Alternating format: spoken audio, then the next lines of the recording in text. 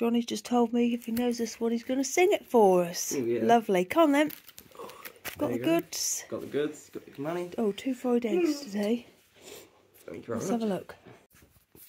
It's a shame he doesn't know this one. And nor do I. Do you know it, James? Sort of give us a little What was it? tinkle. This, do you know that one? I might have to look that one up. It's from down in yon forest, but I've never heard that one before. It's a lovely colour. You're not going to believe this. So I've just been, well, oh, you probably will, but I've just been sorting out all of my auction stuff down the end. Uh, I thought this was just a normal laundry basket. It's not though.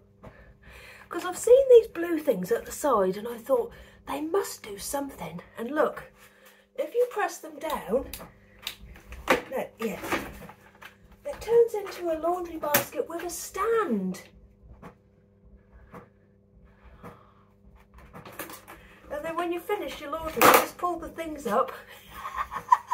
You've got no idea how happy that has made me. Oh, hello, Ian. Oh, I can't let him see. He'll think it's a cot. Oh, the washing's done. I can use the new basket, can't I? See, he's straight in it. Straight in it. Ian, you can't have it, darling. That's my new fantastic laundry basket. Can't believe it. James is gonna lose it when he sees this later. I can't wait. Hello. I'll have to film his reaction. I've just shown Johnny it. What do you reckon? It's crazy, isn't It's the best thing ever. Oh, he's gone now. Oh, I feel like my life has changed. It's so good. Johnny, I could have another baby and this is where it could sleep. God. You wouldn't mind, would you? No. Lizzie would be so cross. Yes, I cannot wait for Dad to come home. Now, I hope that the camera's going to show up these colours. They, it's usually quite good in here, but it does tend to show blues as being more green than they actually are, but this is fine. So, as you know, I've been going through the auction stuff today. I found the fantastic basket, didn't I, that I didn't know did something amazing. Um, now, included in the things that I bought was this basket full of hankies. And I've just been looking through them properly. Look at that. These are all white hankies. I'm going to send some of these off to my friend Gaynor because I know her husband uses hankies. I'd recommend she probably gives them a wash. However, they smell clean. They're lovely. There's a couple of these like rust spots on. No, Lillian, not at the moment. So these are all the white ones. I've just been sorting them all out, but I've got to go through these again because in the white ones I found this little treasure here. I'm going to put that through the wash and give it a little dab of vanish or something like that.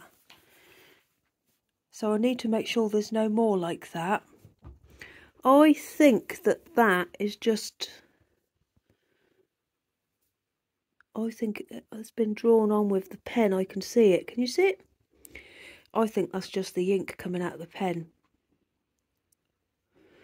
Well, maybe I should finish that off. But then again, I think it'll look quite nice with just the green and the white. Just those bits. Yep, I'm going to put it in the wash and hope for the best. So these are all of the other ones. There's so many. And they're all really lovely. Now, these bring back memories. And I sent some pictures of them to my mum, and she said that she used to get one of these every year with her Christmas card from her auntie. Lillian, stop it! Come on. There's loads of these sort of brown and uh, grey, and all. They're just all lovely. I like that one, but I've made a pile of my fav- favourites, so I thought I'd show them to you. So, of course, the hand embroidered one. Where, have I put that one? Right, so we'll put that there. Lillian will put them in the basket. And then I love this one. It's so delicate. It's nearly. Oh, can you hear him licking his feet over there? Dennis, that's enough. It'll start up again. So if you hear horrible noises in the background, that's him. It's so delicate. And then the, all the ones I like, the ones that have got big holes in. I love this one. yeah, I might give that one a wash as well. I, I just love that one. And I really like this one as well.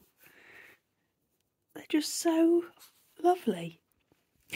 And I love this one as well. All the ones I'm showing you have got stuff on them, but honestly, they are immaculate, all the rest of them. I like that one. Oh, and this one. I love this.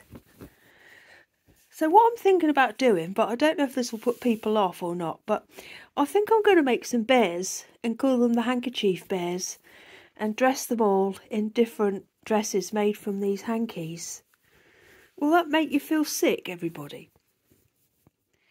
That won't be the next the next teddy bear club is snow bunnies and that's going to be at the end of December. But I'm thinking, or I know what I could do. I could dress my spring lambs in these, couldn't I? Because they'll be coming up soon. Look, this is lovely. It's never been used, this one. Look, this is another one of those little delicate ones. Oh, I just love them. I used to have some like this in my knicker drawer, all folded up and ironed. Oh, we're getting to my favourites now. Oh, this is just one of the white ones. That's one of the white ones. Look at this one, this lovely pink one. I've had to swap hands. Oh, I just love them. And then look at that one. That reminds me of a school tablecloth. And then this is just a pink one. It looks orange, but it's not. It's a really nice sort of pinky colour. I've saved my favourite till last, but I love this one because I like spots. Look, it's got really delicate spots on it. And um, this is my number one favourite. And it's got holes in it and it's all ripped. But this is my favourite. Yeah, so what do you think? Do you think people would be put off? Honestly, they, they are new, but can you imagine, like, some lovely bears or rabbits or something in these skirts, skirts made out of vintage hankies? I think that would be so nice. Well, I'm going to have a chat with you now about my knitting, and I'm going to try and fit these back in there, which is going to be quite dif difficult. I've got to keep them out, keep them on the top. I love this one. It's so soft as well. Aren't I daft? Well, they're back in the basket, but they're not in as well as they were before. I love this.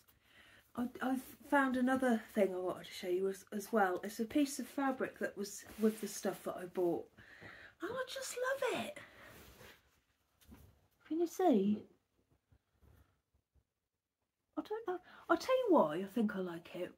I think it's because it reminds me of the book Each Peach Pear Plum. Do you remember that? I Spy Tom Thumb. Tom Thumb in the cupboard. I Spy Mother Hubbard. Do you remember that one, Lillian? I used to read that to you when you were a baby, didn't I? I'm doing this up because this dress and this angle makes me look buxom. So I'm just covering things up a bit because I don't Anyway, I thought I'd just show you what I've been making over the last couple of days and show you how I'm getting on with my um, scarf that I'm knitting. So I finished the socks for James. I've just got a Kitchener the toe on this one and I'm going to do that in a minute. I fell asleep. We were watching uh, Nativity and we've watched the Polar Express today. So I've just got a Kitchener the end of that one and then I've got two. So I'll give him those for his Christmas present and I'll tell you properly about them when I do a podcast but bear in mind they may have been warmed, worn at that point. So here's my scarf. I haven't put yesterday's in or today's. It's massive.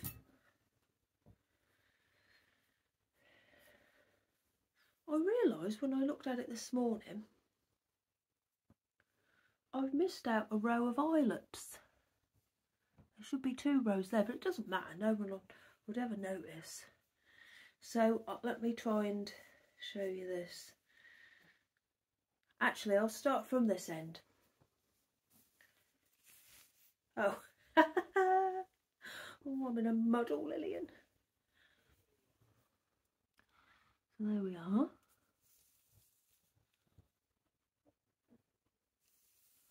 I think Lizzie's got her eye on this.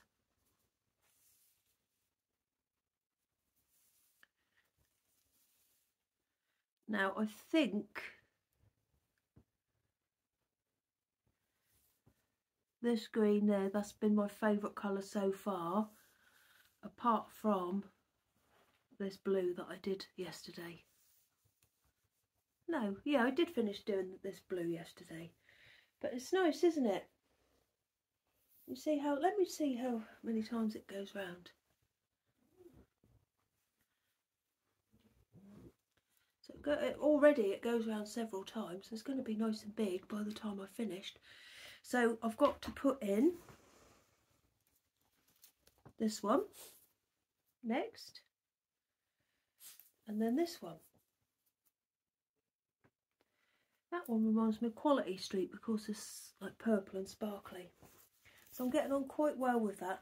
This bag that I'm using, my mum bought me last year some L'Occitane um, vanilla stuff and it was in this bag. I've been using this to keep it in. Of course it's quite long because I'm using some nice straight needles. I do like knitting with straight needles.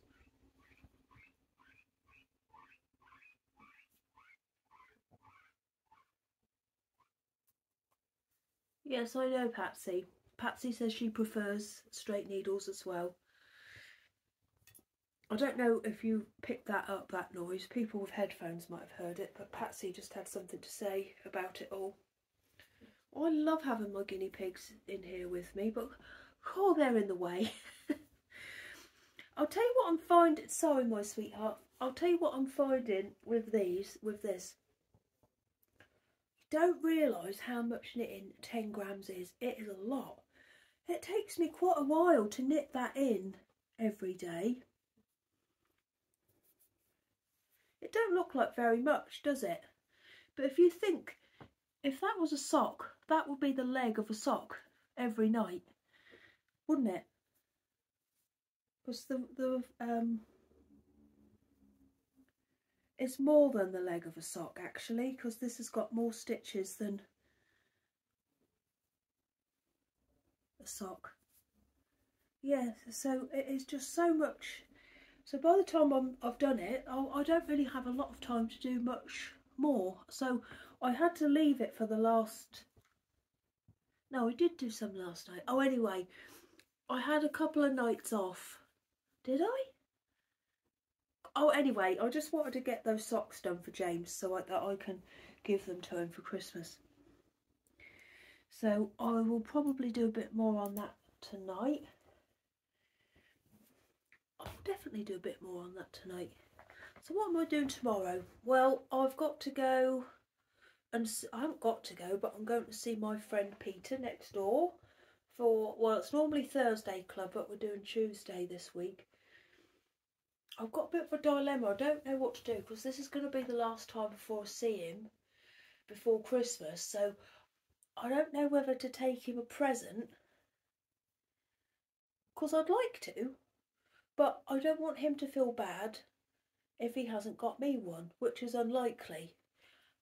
And I don't care. I don't want a present from him. I don't, you know, if he gets me one, that's lovely, but I'm not expecting a present from him. Let's put it that way. So I don't know.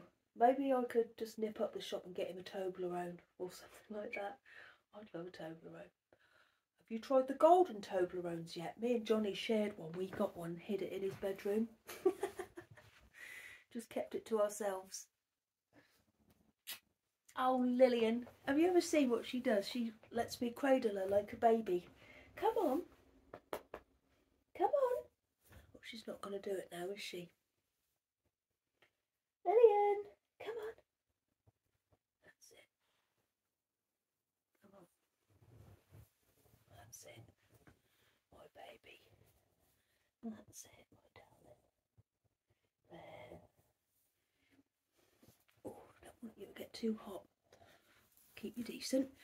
We, I think, are going to go and get some shopping tomorrow, our Christmas food shopping. where I let the children really pick what they want, like some treats for over Christmas. And Lizzie's already said, I'm going to get some of them pancakes that go in the toaster. Uh, what else did she say? Some fruit winders. She's going to get some of those. And there was something else she said.